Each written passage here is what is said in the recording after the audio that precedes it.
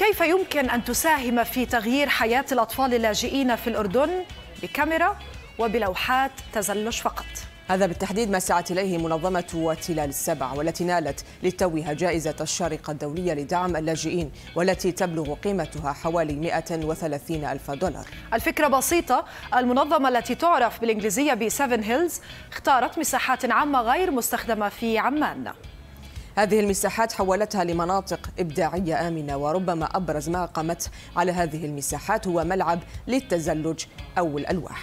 أو سكيت بورد فالمستفيدون من برامج المنظمة تجاوز عددهم ألفي شاب في سنتين فقط نصفهم تقريبا من البنات وستكون 60% منهم من اللاجئين والمهجرين.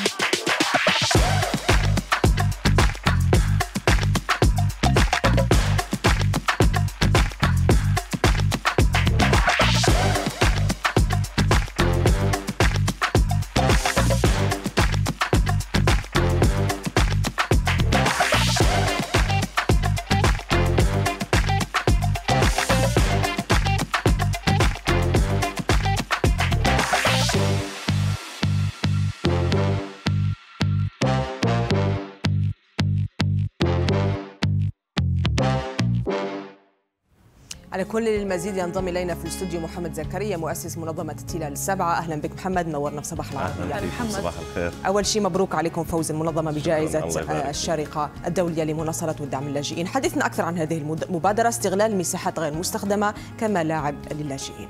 هي الفكرة بالحقيقة بدأت كحاجة شخصية. كنا إحنا بحاجة لهاي المساحات فقررنا إنه نعمل هاي المساحة. بعدين بالنهاية قررنا إنه تكون هاي المساحة مساحات عامة نقدر الكل يستفيد منها. وبعدين تحول الموضوع إنه بلشنا برنامج تزلج مجاني.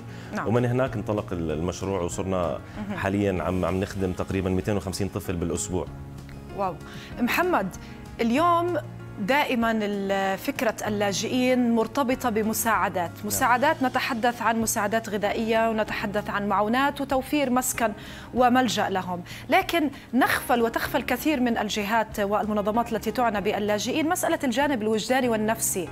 ما التركيز والنقاط التي ركزتم عليها في تعاملكم مع لاجئين من هذه الناحية بالذات؟ آه في الحقيقة إحنا ركزنا على موضوع إنه بدنا نخدم المجتمع بمجمله بالكامل، يعني ما حبينا نجزء المجتمع آه. ولهذا السبب اخترنا آه أداة بسيطة كأداة التزلج لحتى نخدم اللاجئين ونضمهم للمجتمع مم. يصيروا جزء من نسيج المجتمع.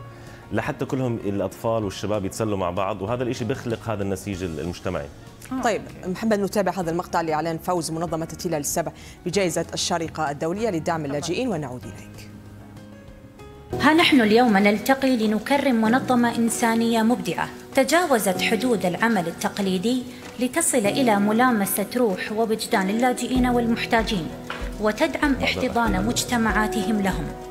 لقد أرادت القلب الكبير ومن خلال الجائزة أن توجه رسالة للعالم تقول فيها إن خير الأعمال وأفضلها ليست فقط ما نقوم بها بأنفسنا بل تلك التي نمكن غيرنا للقيام بها. ولأن نهج الإبداع هو ما نحتاجه لتكون حياة اللاجئين ليست فقط أفضل بل تتناسب مع أعلى المعايير الإنسانية في كل مجتمع. فهذا الجانب يعبر عن حب الحياة لهم كي يحبونها بالمقابل ويقدمون لها أجمل ما عندهم. وهذا تماما ما أدركت أهميته منظمة التلال السبعة للتنمية الاجتماعية. كلنا نعلم أن النفس تحيا وتزهر وتشرق عندما تجد أشخاص صادقين يهتمون لأمرنا. فشكرا جزيلا لمنظمة التلال السبعة ولكل من يعمل خيرا لتكون الحياة أفضل. طيب محمد كما شاهدنا لديكم برامج غير تقليدية لتمكين اللاجئين ويعني الترفيه عنهم. حدثنا عن أبرز هذه البرامج الغير تقليدية كانت غير مسبوقة في الأردن. هو البرنامج الأساسي تبعنا هو برنامج التزلج. والفكرة في الحقيقة إنه عم نستخدم التزلج كأداة لحتى نجتذب الأطفال لأنه هي أداة غير تقليدية فعلا. وهي أداة بتمكن الشباب والأطفال ليغيروا نظرتهم للمدينة بأكملها. يعني كل المدينة بتتحول لملعب. فعلا عن طريق هاي الأداة. آه وغير إنه آه هي أداة آه بسيطة جدا آه واللي هي عن طريق اللعب.